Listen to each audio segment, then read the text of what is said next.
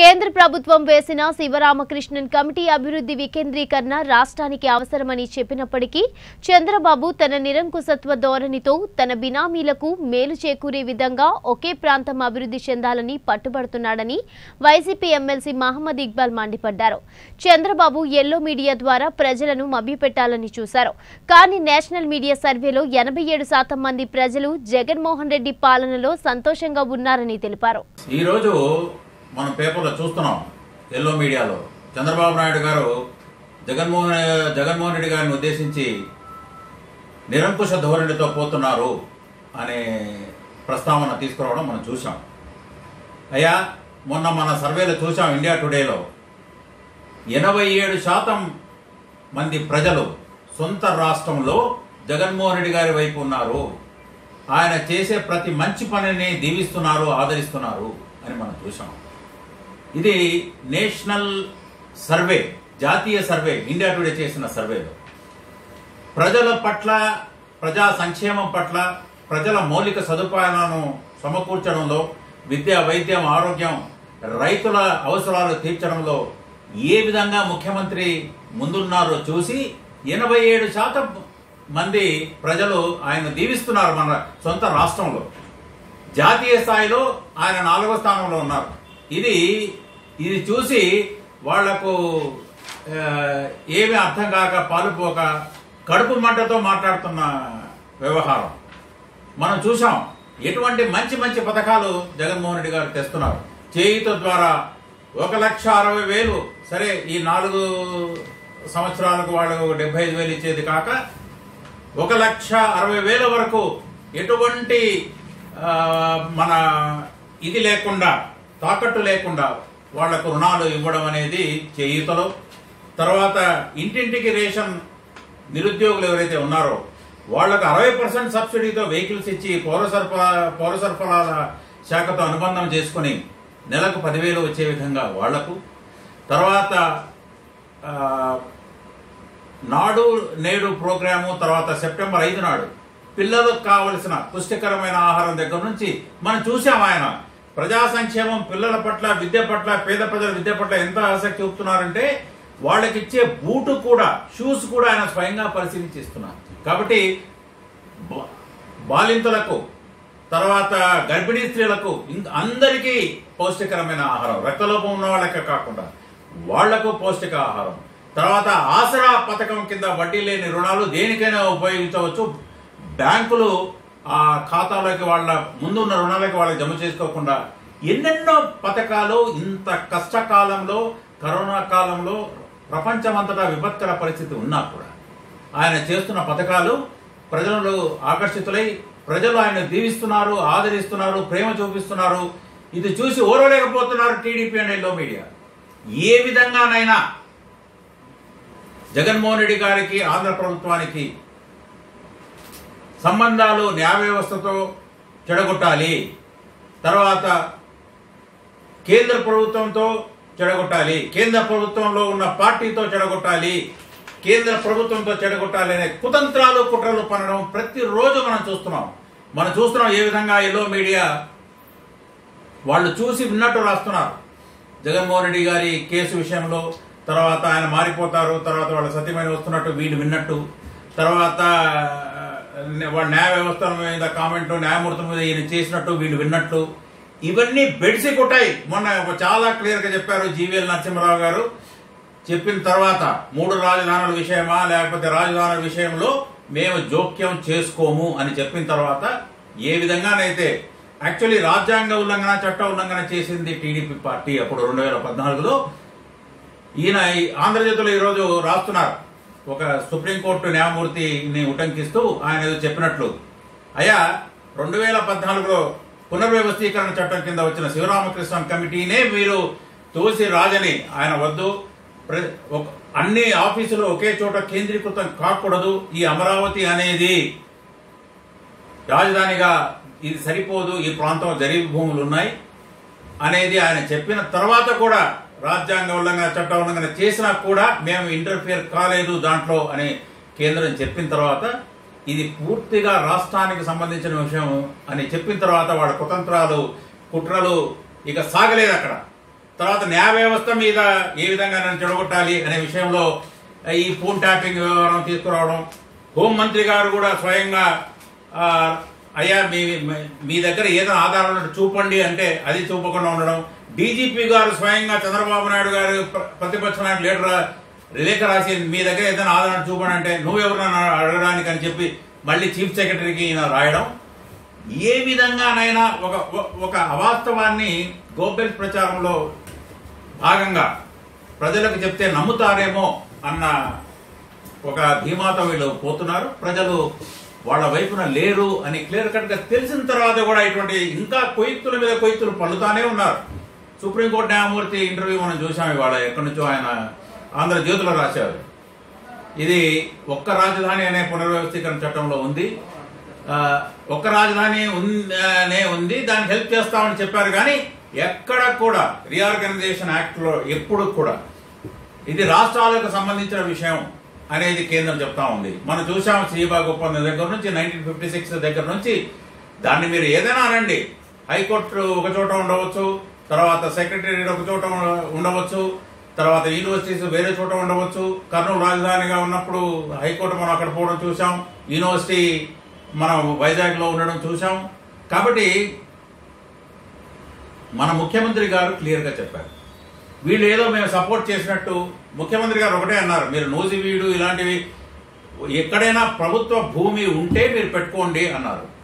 మేము ముందు నుంచి చెప్తున్నాం. ఆయన ప్రధానమంత్రి ఈ శంకుస్థాపనకు వచ్చినప్పుడు ప్రధానమంత్రి కూడా వీళ్ళు బీజేపీ పార్టీ క్లియర్గా చెప్తున్నారు ఇప్పుడు. మేము మీరు పిలిచారు మేము వచ్చాము కానీ ఏదో మా ఇష్టపూర్వకంగా మేమేదో మీకు పర్మిట్ చేశామని కాదు. మీరు ఏదో చేస్తున్నారు శివరామకృష్ణ కమిటీ రిపోర్టును తోసి రాజని మీ సొంత కమిటీ రిపోర్ట్ పెట్టుకొని చేస్తున్నారు అయినా వచ్చాం. వచ్చి మళ్ళీ వెళ్ళాం తప్ప దాంట్లో మాకు సంబంధం లేదు. మేము అధికారంలోకి వస్తే రైతులకు తిరిగి భూములు ఇచ్చేస్తామని కూడా చెప్పారు వాళ్ళు వాళ్ళ మేనిఫెస్టోలో బీజేపీ ఇది ఎవరి రాజధాని అమరావతి అని మా రిటైర్డ్ చీఫ్ సెక్రటరీ గారు కూడా రాశారు కృష్ణరావు గారు.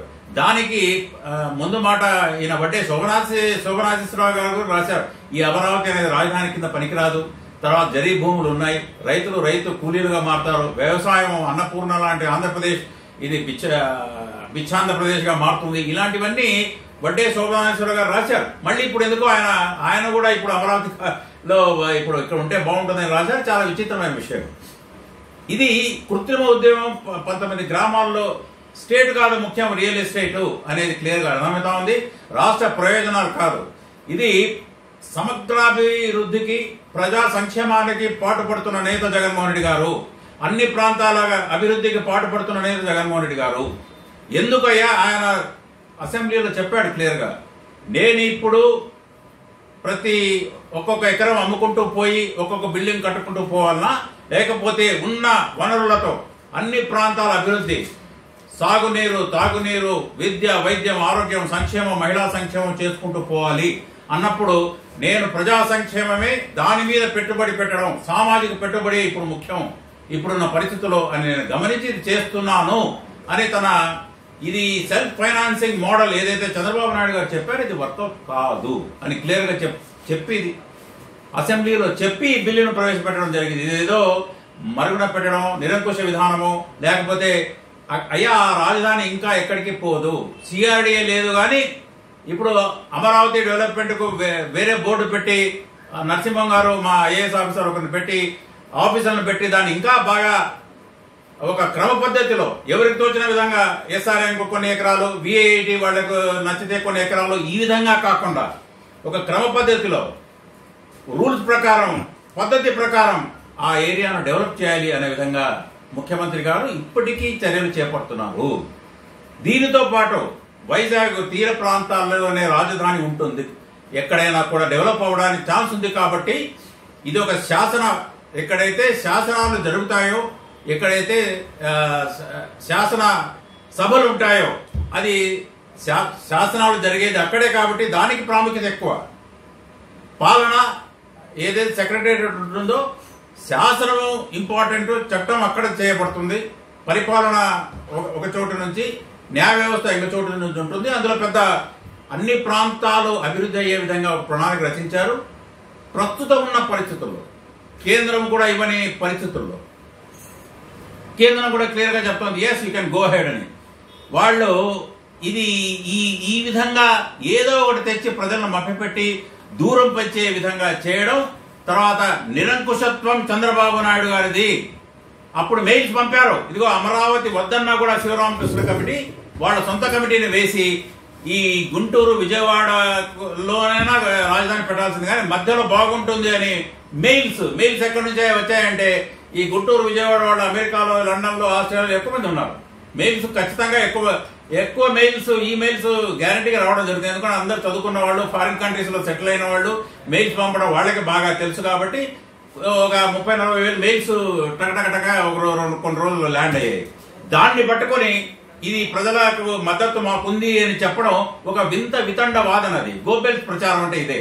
కాబట్టి అక్కడికి ఎలా ఎలా ఆ భూమిలో బిల్డింగ్లు కట్టడానికి కూడా అనువైన స్థలం కాదు అని చెప్పిన తర్వాత అయినా రాజధానిగా పెట్టారు.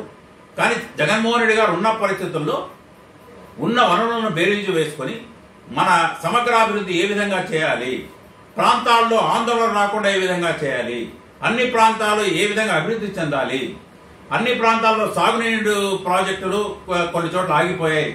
మీరు చెప్పింది చంద్రబాబు నాయుడు రెండే రెండు. వారం వారం పోలవారం టెలికాన్ఫరెన్స్ వీడియో కాన్ఫరెన్సులు నాలుగు లీగు బిల్డింగ్ కట్టడం తప్ప ఐదేళ్ళలో ఏమి భ్రమ కల్పించారంటే ఇది ఇది మీరు ప్రజలను వంచింది నాలుగేళ్ళలో సింగపూర్ చేస్తామని భ్రమ కల్పించారు.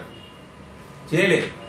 నిరంకుశ విధానం ఏదంటే చంద్ర వెన్నుపోటు పొడిచి ఎన్టీ రామారావు గారిని ఆయన సస్పెండ్ చేసి ఆయన క్యారెక్టర్ లేని బాడీగా ఆయన చిత్రీకరించి ఇప్పటికీ కూడా ఆయన సస్పెన్షన్ ఎత్తివేయని పరిస్థితి ఇది నిరంకుశ ధోరణి. ప్రజలను గుండెలకు హత్తుకొని ప్రజా సంక్షేమమే ధ్యేయంగా పరమావధిగా పనిచేస్తున్న నాయకుడు ఇదిగో ప్రజానాయకుడు ప్రజానాయకుడికి ఒక నియంతకు తేడా ఇదే. నియంతృత్వం అంటే ప్రజల మన్ననలను ఖాతరు చేయకుండా ప్రజలను భ్రమలో పెట్టి ఏదో పసుపు కుంకుమలతో గెలుస్తామని ప్రజలను నమ్మించి ప్రజలను ఓటు బ్యాంకుగా మాత్రమే చూసి ప్రజా ప్రజా సంక్షేమాన్ని గాలి వదిలేసిన నాయకుడే నిజమైన నిరంకుశ వ్యక్తి. తన కోసం తన పార్టీ ఏదో రాజకీయం కోసం తర్వాత పదవి కోసం ఆరాటపడిన వాడు నిరంకుశ పోకడలున్న వ్యక్తి.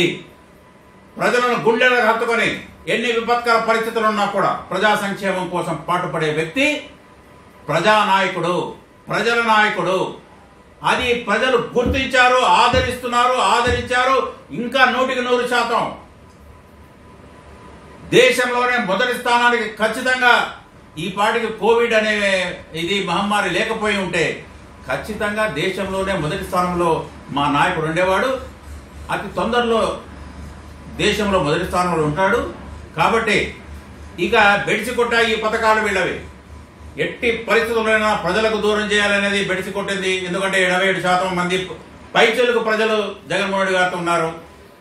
ఏదో కేంద్ర ప్రభుత్వాన్ని ముందు తిట్టి మోడీ గారిని తిట్టి తర్వాత ఏదో మైనారిటీ ఓట్లు వస్తాయనుకుంటే అది బెడిసి కొట్టింది ఇప్పుడు కేంద్ర ప్రభుత్వంతో తర్వాత చాలా మీరు చాలా బాగా పనిచేస్తున్నారు. ఆఖరి నిమిషంలో మోడీ గారిని బీజేపీని తిట్టని తిట్టు తిట్టి కాంగ్రెస్ ముందు తిట్టి వాళ్ళతో కలుపుకొని వాళ్ళకు ఫండింగ్ చేసి తర్వాత మోడీ గారిని తిట్టి తిట్టు తిట్టి. ఇప్పుడు ఆహాహా శభాష్ అన్నా కూడా వాళ్ళ మోకాళ్ళ మీద పండా కూడా అక్కడ కూడా వాళ్ళు వెలుతిరిగే వెనుతిరిగే పరిస్థితి వచ్చింది. అక్కడ బెడిసి కొట్టింది.